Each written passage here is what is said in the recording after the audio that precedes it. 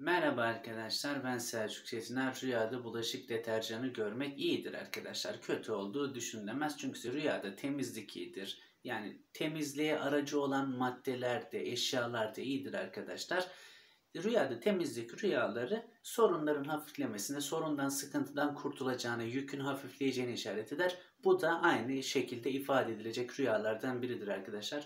Yükünüz hafifleyecek, sorunlarınız zamanla çözülecek. Hani birden de çözülmezdi. Yükünüz üzerinizdeki yük bitecek arkadaşlar. Allah başka dert vermesin. Allah mutlulukla imtihan etsin. Ne yapalım? Adamın biri şey demiş.